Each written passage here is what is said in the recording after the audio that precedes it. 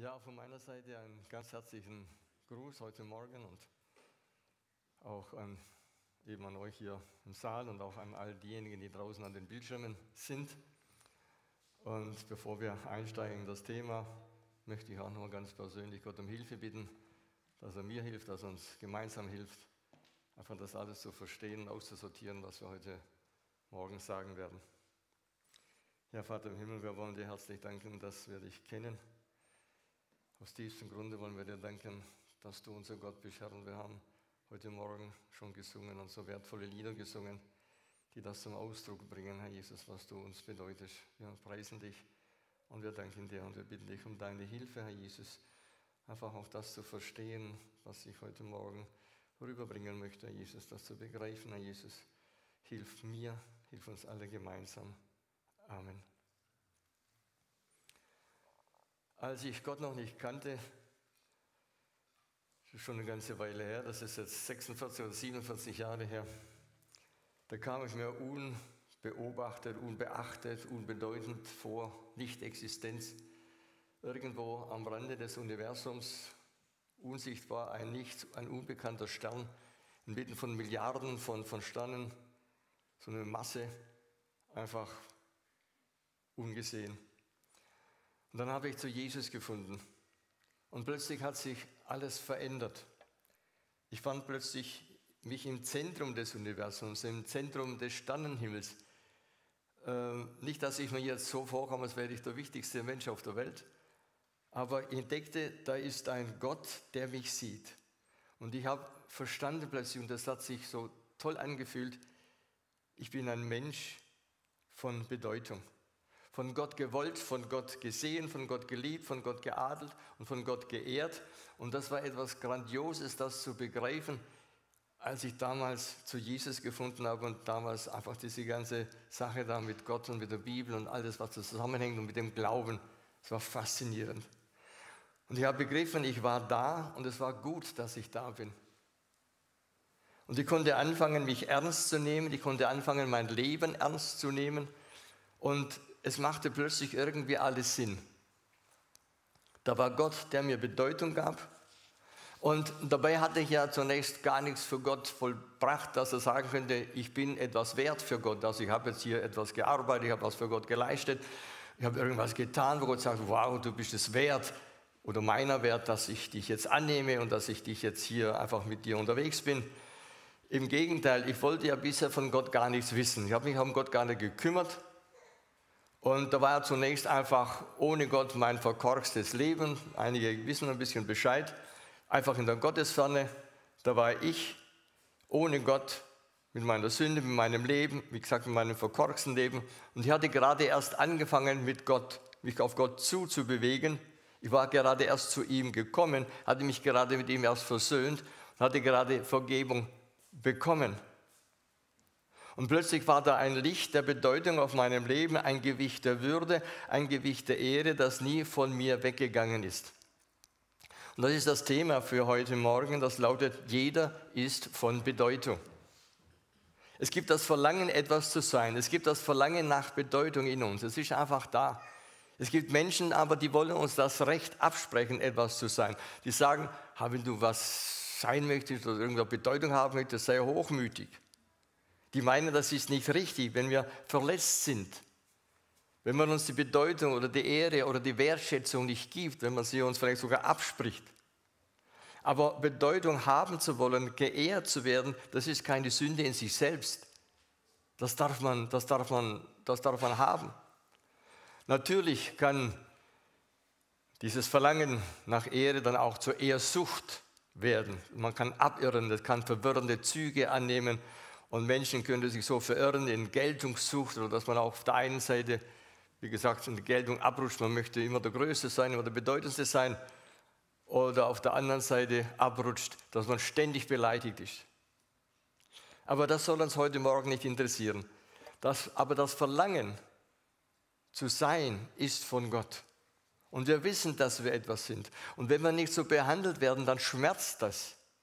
Aber Sünde ist es, wenn wir dem anderen Schmerzen bereiten, wenn wir ihm seine Bedeutung wegnehmen, wenn wir ihn entwürdigen, wenn wir ihm seine Ehre berauben, ihn bloßstellen, wenn wir ihn entehren. Aber verletzt zu sein oder zu leiden, weil wir nicht mehr so betrachtet werden, wie wir sind, das ist nicht Sünde. Gott hat uns so geschaffen mit einem Wunsch zu sein. Und nicht nur zu sein, sondern etwas zu sein. Wir wollen Bedeutung haben. Und deshalb brauchen wir eine Kultur der Ehre in der Gemeinde. Eine Kultur der Ehre gehört in die Königsherrschaft Gottes hinein. Wir haben ein Handbuch von Gott bekommen, das uns den Wert und die Kultur der Ehre aufzeigt. Das ist das Wort Gottes. Und Bedeutung haben, das bedeutet einen Wert haben, das bedeutet wichtig sein. Und wer für uns Bedeutung hat, den schätzen wir, der ist wertvoll und den ehren wir. So sind Bedeutung und Ehre und Ehre geben zwei Seiten der gleichen Münze.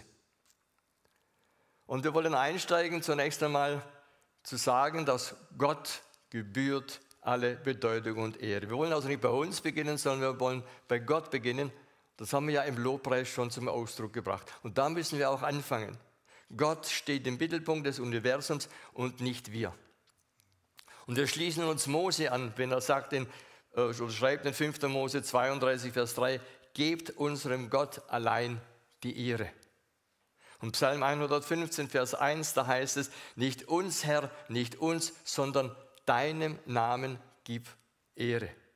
Oder Jesaja 43, Vers 7, alle, die mit meinem Namen genannt sind, die ich zu meiner Ehre geschaffen und zubereitet und gemacht habe.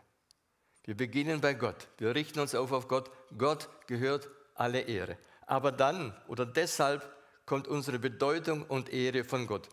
Das ist zunächst diese Schöpfungsehre. Im Psalm 8, Vers 6 heißt es, aber du hast den Menschen nur wenig geringer gemacht als Gott und du wirst ihn mit Herrlichkeit und Ehre krönen. Der Mensch ist zwar nur weniger als Gott, aber er ist Gott näher als alle anderen in der Schöpfungsordnung. Und das ist die Schöpfungsehre, die Gott uns gibt. Der Mensch ist nach 1. Mose 1, Vers 27 als Ebenbild Gottes geschaffen. Das heißt, mehr als jedes andere Geschöpf repräsentiert der Mensch Gott. Er ist das Standbild Gottes auf Erden. Und das ist zunächst einmal unabhängig davon, ob er Christ ist oder ob er kein Christ ist, ob er mit Jesus unterwegs ist oder ob er nicht mit Jesus unterwegs ist.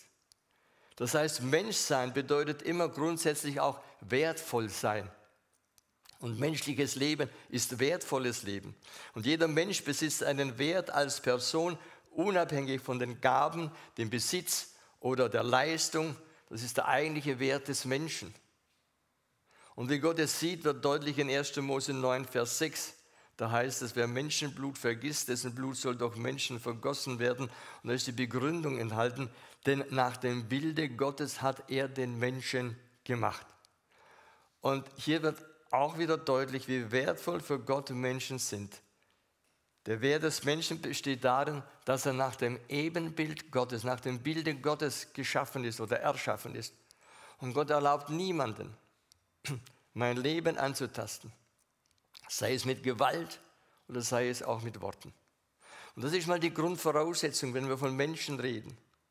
Und der Mensch ist ein Vermögen wert. In Psalm 49, Vers 9 heißt es, denn ein Menschenleben kann man nicht mit Gold aufwiegen. Aller Reichtum dieser Welt wäre noch zu wenig. Das ist die Wertschätzung, die von Gott dem Menschen gebracht wird. Und wie gesagt, das gilt für alle Menschen und das gilt schon im Mutterleib. Im Psalm 139, Vers 13 sagt David, denn du hast mich gewoben im Schoß meiner Mutter. Gott hat mich gemacht im Leib meiner Mutter. Ich preise dich dafür dass ich auf eine erstaunliche, ausgezeichnete Weise gemacht bin. Wunderbar sind deine Werke und meine Seele weiß es sehr wohl. Und diesen ewigen Wert und diese ewige Bedeutung schenkt mir Gott. Und diesen Wert kann ich durch mein eigenes Können weder vergrößern noch verkleinern. Also wenn ich von heute an nur noch Misserfolg hätte, wenn ich meinen Ruf, wenn ich meine Gesundheit, meinen Besitz, meine Freunde, meinen Dienst oder auch meinen Verstand, meine Zurechnungsfähigkeit verlieren würde, wäre dadurch in keiner Weise mein eigentlicher ewiger Wert bei Gott verloren oder gemindert. Und diesen Wert brauchen wir nicht durch bestimmte Leistungen uns zu verdienen oder aufrechtzuerhalten. Es ist fester Bestandteil des Lebens. Und obwohl es uns vielleicht an Begabung fehlt, an körperlicher Energie mangelt, obwohl wir nicht die seelischen Kräfte haben, die wir gerne hätten, obwohl wir manchmal ungeschickt sind, vielleicht irgendwelche körperlichen Mängel besitzen oder unsere Intelligenz zu wünschen übrig lässt, so haben wir doch keinen geringeren Wert als andere Menschen. Wir besitzen Würde und Wert als Person vor Gott. Es ist wertvolles Leben. Und es kommt nicht darauf an, wie viel oder wenig dieser Mensch für die Gesellschaft oder auch in der Gemeinde nützlich ist. Es geht nicht um das Nützlichkeitsdenken, sondern seine Würde ist immer Teil seiner Persönlichkeit, von Gott erschaffen, nach Gottes Bild gemacht. Also wir bekommen unsere Ehre und unsere Würde von Gott zugesprochen. Und jeder von uns darf sagen, ich bin von Bedeutung. Und dann erleben wir noch eine, ja, sagen wir, höhere Stufe der Bedeutung oder Ehre bei Gott. Das ist die Erlösungsehre. Jesus sagt, niemand hat größere Liebe als die, dass er sein Leben lässt für seine Freunde, heißt es in Johannes Kapitel 15, Vers 13. Und das ist die Würde durch den Preis, dass Gott sein Leben für uns Menschen hingegeben hat. Dieser Erlösungspreis. Gott ehrt mich dadurch, dass Jesus Christus für mich ganz persönlich gestorben ist. Wir bedeuten Gott so viel, dass wir, dass wir Jesus es wert waren, für uns sein Leben zu lassen. 1. Petrus 1, Vers 18 heißt es, denn ihr wisst, dass ihr nicht mit vergänglichen Dingen, mit Silber oder Gold erlöst oder erkauft worden seid, sondern mit dem kostbaren Blut Christi als eines Lammes ohne Fehler und ohne Flecken. Und das Kreuz Jesu ist zwar in den Augen der Welt verachtenswert oder mag verachtenswert erscheinen, aber es ist die höchste Zusage meiner Bedeutung. Und so können wir das Wort aus Jesaja 43, Vers 4, ich habe das am Ende mal ein bisschen abgewandelt, auch so äh, äh, lesen. Darum, weil du kostbar bist in meinen Augen und wertgeschätzt und wertgeachtet und ich dich lieb habe, darum habe ich mein Leben für dich hingegeben. Ein Gott, der stirbt, könnte man sagen, ist von nicht viel wert. Der ist jetzt tot, ist alles aus, alles vorbei, ist schwach. Aber Jesus ist auferstanden. Und wir haben erkannt, dass ein Gott, der stirbt, der für mich stirbt, die höchste Ehre, die höchste Wertschätzung und die höchste an Bedeutung ist, was ich bekommen kann und was man mir geben kann. Mehr gibt es nicht. Und wo ist ein anderer Gott, der sein Leben für mich hingegeben hat? Wo ist ein anderer Gott, dem ich so wichtig bin und so wertvoll bin und der deshalb sein Leben hingegeben hat, der ans Kreuz gegangen ist, um meine Ehre wiederherzustellen und meine Würde. Und so dürfen wir sagen, wir sind etwas. Gott hat uns Bedeutung gegeben in Jesus Christus. Also alles beginnt damit, dass wir Gott die Ehre geben und dabei die erstaunliche Entdeckung machen, wenn wir zu Jesus kommen, wenn wir zu Gott kommen, wie Gott über uns denkt. Nochmal Jesaja 43, Vers 4, weil du in meinen Augen so wertgeachtet und auch herrlich bist und weil ich dich lieb habe. Das ist der Ausgangspunkt dessen, was unsere Bedeutung ausmacht. Und deshalb, weil dem so ist, deshalb können wir dann dem anderen auch die Bedeutung und die Ehre zusprechen oder zukommen lassen. Wenn wir so uns von Gott geehrt und geadelt wissen, dass wir nach dem Bilde Gottes erschaffen sind, dass Gott uns erlöst hat, dass er sein Leben für mich gegeben hat. Dann dürfen wir uns aufmachen, dazu sind wir auch berufen als Christen, andere Menschen zu ehren, die mit uns unterwegs sind. 1. Petrus Kapitel 2, Vers 17 heißt es, er weist allen Ehre, unter anderem fürchtet Gott, ehrt den König oder die Obrigkeiten, den Staat und so weiter. Also wir sind von Gott dazu berufen, allen und einander in Ehrerbietung und Wertschätzung zu begegnen. Und wenn wir sagen, dass wir Bedeutung haben und Ehre bedürftig sind, bedeutet das eben auch, dass ich die Bedeutung des anderen anerkenne, der neben mir lebt und der mit mir unterwegs ist. Ich darf sie ihm nicht verweigern. Das gilt zunächst mal allen Menschen. Mein Nächster ist auch nach dem Bilde Gottes geschaffen. Und ich habe mir einen Satz gemerkt von Francis Schaeffer, der sagte, ich sehe und behandle jeden Menschen, der mir begegnet, als Ebenbild Gottes. Und Ehre zu bekommen, das, das tut ja richtig gut, ist ja schön. Als wir bei der Hochzeit unseres Sohnes 2019 bei Simon auf Yap in Mikronesien waren, da war dort ein amerikanischer Missionar, der war im Gemeindebau da unterwegs mit seiner Familie und der hat dann auch hat dann die Hochzeit geleitet von äh, Simon und Rachel. Und er hat mich immer angeredet mit Sir. Und ich habe ihm gesagt, oh please say Harold, you can say Harold to me, I'm Harold. Aber er sagte immer weiter zu mir, Sir. Und ich habe das hat mir gefallen und habe das bis heute nicht vergessen. Und das gilt ganz besonders dort, wo wir eben die Königsherrschaft leben, wo sie gelebt wird, eben auch in der Gemeinde Gottes, dort, wo wir mit Gott unterwegs sind. In Römer Kapitel 12, Vers 10 heißt es, in der Geschwisterliebe seid herzlich zueinander, in Ehrerbietung einer dem anderen vorangehend. Man kann das verschieden übersetzen, unter anderem jeder soll den anderen für würdiger halten als sich selbst, weil wir sollen der Erste sein, der dem anderen die Ehre erweist. Wir sollen schneller sein, zuvorkommen. Oder Philipper Kapitel 2, äh, Vers 3 kann man das, glaube ich, nicht deutlicher sagen, was, wie Paulus das hier ausdrückt, äh, dass ihr nichts aus Ehrgeiz und nichts aus Prahlerei tut oder aus Prestige zu eurer eigenen Ehre, sondern in Demut schätze einer den anderen höher als sich selbst. Und ich denke, die Folge diese Aussage war in der Antike revolutionär. Und ich denke auch, das ist heute noch revolutionär. Die christlichen Herren wurden aufgefordert, ihre Sklaven zu ehren und die christlichen Männer wurden angehalten und aufgefordert, die Frauen zu ehren, auf die sie als Geschöpfe Gottes und als Erlöste Gottes Anspruch haben. Und Paulus ruft eigentlich nie zu einer gesellschaftlichen Revolution auf in den Briefen. Aber wir sehen die Veränderung, die diese Gemeinschaft von Christen lebt. Derer, die zu Jesus gekommen sind, da hat sich was verändert. Da ist was geschehen. Das war in einer Gesellschaft von damals revolutionär und wie gesagt, ist es auch heute noch. Und wir müssen uns das mal so vorstellen, da kommt ein reicher christlicher Gutsbesitzer, Besitzer, der 30 Sklaven beschäftigt. Der kommt jetzt da in die Gemeinde und da wird der Brief des Apostel Paulus vorgelesen. Und Paulus schreibt und dann hört der Mann hier in Ehrerbietung, gehe jeder dem anderen voraus, aha, achte den anderen höher als dich selbst, okay.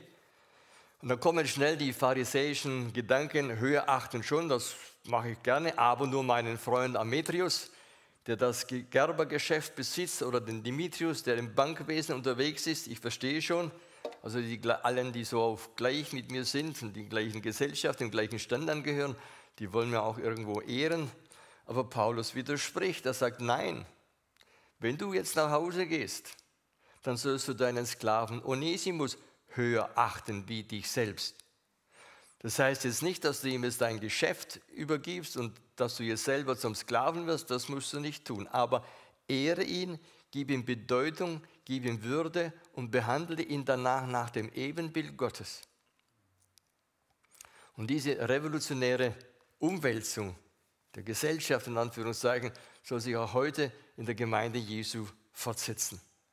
Wir sollen jedem und allen die Ehre geben als geliebte Kinder Gottes, ohne zu vergessen, dass die Bibel sehr wohl Strukturen kennt, in denen wir uns auch bewegen.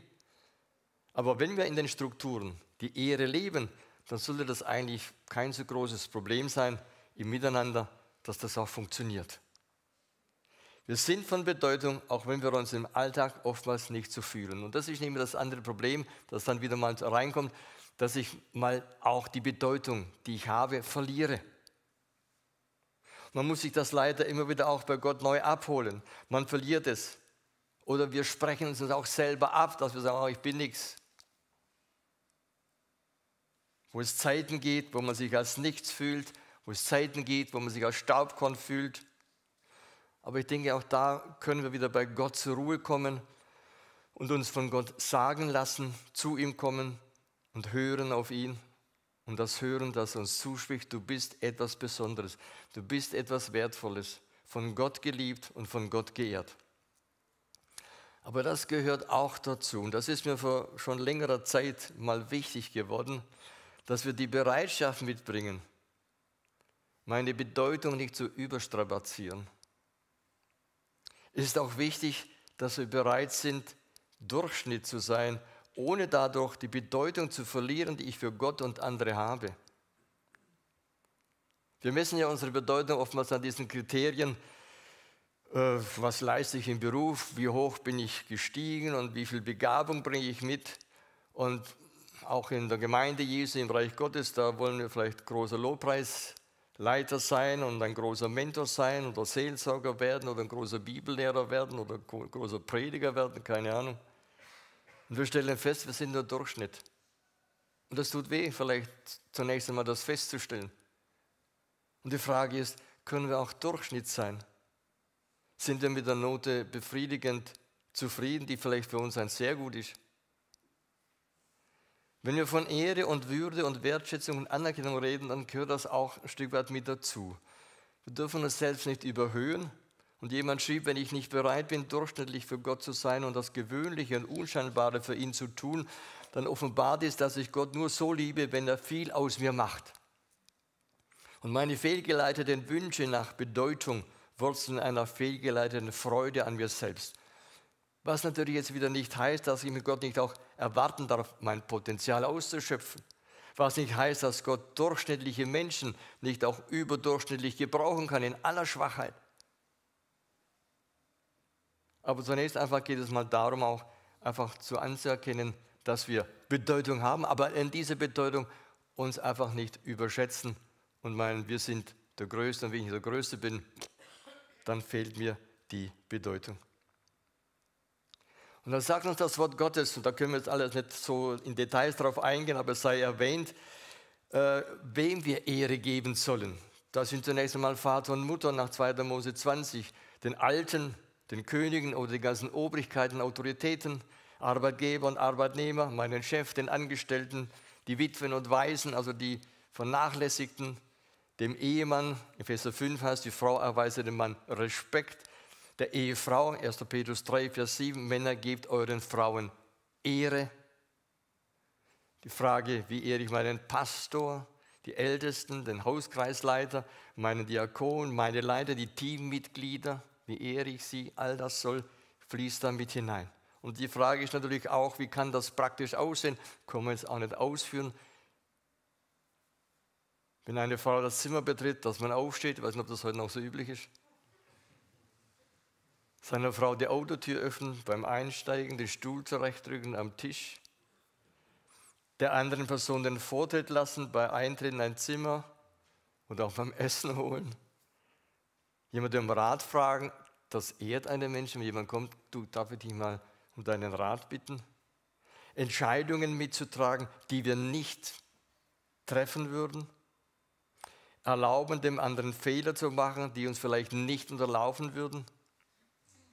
Verantwortung übergeben und die anderen auch machen lassen, so wie sie das einfach machen, solange es in Ordnung ist.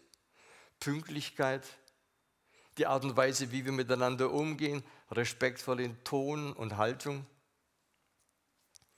ehrliche Anerkennung dessen, was jemand tut und gemacht hat, Treue auch anerkennen, wenn einer eine treue Aufgabe macht und über Jahre hinweg dem anderen zuzuhören, Ehrenplatz einzuräumen. Also es gibt viele Möglichkeiten, darüber nachzudenken, wie kann ich den anderen ehren.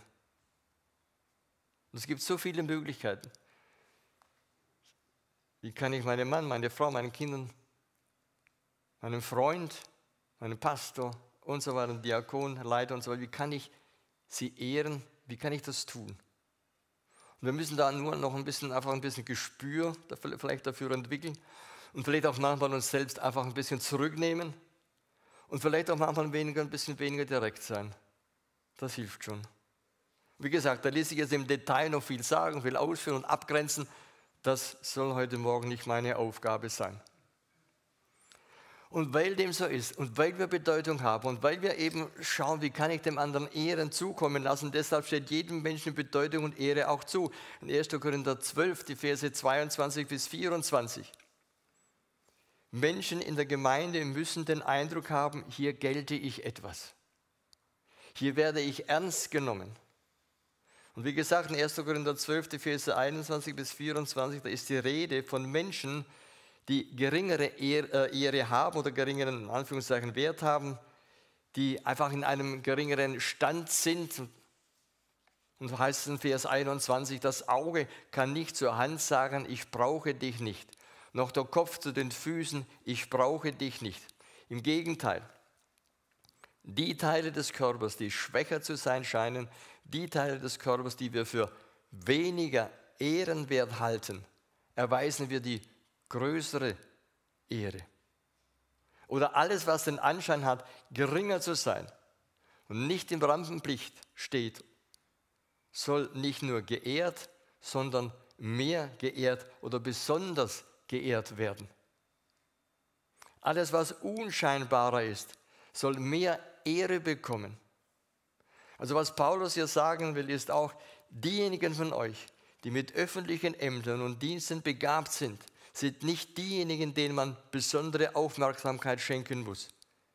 Es sind die sogenannten unscheinbaren Teile, die ungesehenen, wo man dafür sorgen muss, dass sie gesehen werden und geehrt werden. Und Paulus sagt, sie sind lebenswichtig. Man braucht sie, sie sind unentbehrlich. Man braucht sie in der Gemeinde, man braucht sie auch in der Gesellschaft. Man braucht sie, um das Leben der Gemeinde aufrechtzuerhalten. Und sie sind was Besonderes, man soll sie mehr ehren, einfach auch, weil sie zu Gottes auserwählten Kindern gehören, der sein Leben für sie hingegeben hat. Und sie brauchen besondere Pflege. Und wir haben ja vorher gesagt, können wir Durchschnitt sein? Ja, können wir. Und da können wir dann denen helfen, die in Anführungszeichen Durchschnitt sind, die Ehre, die ihnen fehlt, dass wir sie ihnen geben, dass wir sie ausgleichen.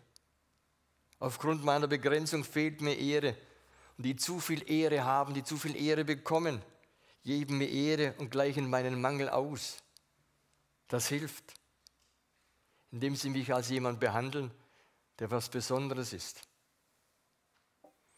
Es gibt Menschen in unserer Gemeinde, deren wichtiger Dienst unbemerkt bleibt und manchmal auch gar nicht unterstützt wird. Da ist die ältere Frau, die, die jüngere Frauen halt berät und ihnen hilft, auf ihrem Weg zur Seite steht. Oder die Person oder auch ja, irgendjemand, der kleine, unscheinbare Liebesdienste tun, Selbstverständlichkeiten. Eine Familie, die mit bescheidenen Mitteln ihr Haus öffnet, um Menschen zu betreuen.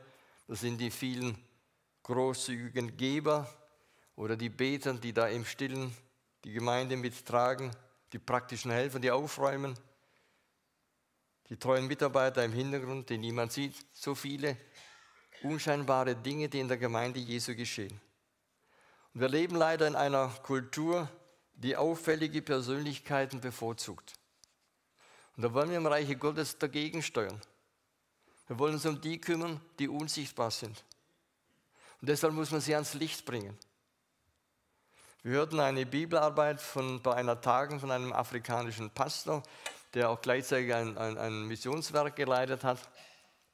Und er sagte, wenn ich Gemeinden besuche, und ich habe das nicht geplant, also unverhofft dort auftauche, dann wird er mir immer sagen, predige du. Aber er sagt weiter, wenn ich das tue, dann nehme ich dem anderen die Ehre. Aber ich bin gekommen, um zuzuhören. Und gehe jetzt nicht auf die Kanzel. Und wenn ich das tue, dann leuchten ihre Augen. Sie sind nicht gewohnt, dass man sie ehrt. Es mag uns so vorkommen, als ob diejenigen, die ganz vorne sind, die größte Ehre bekommen müssen, dass sie die wichtigsten sind. Natürlich sind sie wichtig, ja. Also ich will das niemand absprechen, der vorne steht. Ich stehe auch vorne. Ähm, zu sagen, der hat nichts zu bedeuten, dass man ihnen nicht auch Ehre gibt. Natürlich sind sie wichtig. Natürlich soll man sie ehren, natürlich soll man sie wertschätzen, das meint Paulus nicht. Aber sie stehen ja schon im Rampenlicht. Sie kriegen schon Ehre und Anerkennung. Natürlich auch allen möglichen Dreck kriegen sie auch ab und die Ohren, das natürlich auch. Aber die leuchten schon. Und sie sollen von ihrer Ehre abgeben, andere auch ins Licht treten lassen, anderen die Anerkennung, die Ehre geben, ihnen Bedeutung geben. Auch wenn es vielleicht dann alles ein bisschen holpriger ist, nicht so perfekt, ein bisschen wackeliger, was soll's. Wir haben Menschen geehrt und das zählt und das ist wichtig. Es geht um die Unscheinbaren, die im Dunkeln leben, im Schatten, die Nachtschattengewächse, diejenigen, die sich fragen, sieht denn keiner, was ich tue? Sieht denn keiner, dass ich auch da bin? Habe ich für niemand irgendeine Bedeutung? Die Scheinwerfer sind nie auf sie gerichtet. Und deshalb gibt es auch, ist es auch wichtig, dass wir Plattformen schaffen, um sie zu ehren, ihnen die Möglichkeit zu geben, was zu berichten, wo die Scheinwerfer nur auf sie gerichtet ist. Und wie gesagt, auch wenn das mal nicht so passt, auch nicht mal so toll ist, nicht so professionell gemacht ist, was soll's? Wo ist das Problem? Ihre Augen leuchten, man hat sie geehrt. Und sie wissen, ich habe Bedeutung, man sieht mich. Wir müssen andere mitmachen lassen. Ich erinnere mich schon vor längerer Zeit war das, habe das aber auch nie vergessen, auf einer Jahreskonferenz, wo wir noch in der Republik der Elfenbeinküste waren, mit einem Missionswerk WEC. Und da gab es am Schluss der Konferenz immer ein Social Evening, so ein bunter Abend zum Schluss. Da machten wir so Gesellschaftsspiele. Und ich erinnere mich an ein Spiel. Und da ist mir aus einer Gruppe jemand aufgefallen, der hat zu 90 Prozent oder so 99 Prozent die Aufgaben, die da gestellt waren, immer alles selber gemacht. Damit die Gruppe gewinnt. Das war auch gut. Und da waren Kinder dabei. Und es ist klar, wenn man Kinder was machen lässt, dann ist das vorprogrammiert, dass der kleine Kerl oder das kleine Mädchen das einfach vermasselt. Lassen wir die anderen am Spiel teilhaben, auch wenn sie das Spiel verlassen. Ehren wir sie dadurch, dass wir sie ins Licht bringen. Jeder ist von Bedeutung. Gott hat den Leib so zusammengesetzt, dass der Teil, dem es an Ehre mangelt, mehr geehrt wird von den anderen. Aber vergessen wir nicht, ich kann es auch überstehen, wenn mir Ehre aberkannt wird oder wenn mir Ehre verweigert wird, dann bleibt unsere Ehre allein bei Gott durch das Kreuz Jesu. Das ist die Ehre, wo wir uns immer wieder dann aufrichten. Dafür ist das Lobpreisteam bitten, nach vorne zu kommen. Wir brauchen eine Kultur der Ehre, die den Himmel auf die Erde bringt. Und das ist möglich, weil jeder einzelne von uns von Gott geadelt, von Gott geehrt ist. Und das sollen wir weitergeben. Dem anderen sagen, du bist von Bedeutung und ich bin von Bedeutung. Wir beide sind von Bedeutung. Und wahres Christentum erzeugt nicht nur Wahrheit, sondern auch Schönheit auf dem Gebiet der menschlichen Beziehung. Und den anderen zu ehren, dem anderen Bedeutung zu geben, ist ein wichtiges Element in Beziehungen ein wichtiger Baustein, ein Klebstoff, der uns zusammenhält. Vater im Himmel, wir wollen dir herzlich danken, dass wir einfach heute Morgen ein bisschen nachdenken durften und uns erinnern durften, wie auch menschliche Beziehungen funktionieren. Über allem stehst du, unser Gott und Vater und unser Herr Jesus Christus der uns geschaffen hat nach dem Bilde Gottes. Welche Ehre kommt uns da entgegen? Ein Mensch zu sein, der nach dem Bilde Gottes geschaffen ist. Und wir danken dir, dass du dein Leben gegeben hast für uns. Danke dir, dass du dein Leben am Kreuz gelassen hast und dass du uns diese Ehre gegeben hast, Herr. Und von dieser Ehre wollen wir weitergeben. Und diese Ehre wollen wir dem anderen daran teilhaben lassen, wollen wir erkennen, dass wir geehrte Menschen sind, Herr, die miteinander unterwegs sind, zu deinem Lobpreis und zu deiner Ehre. Amen.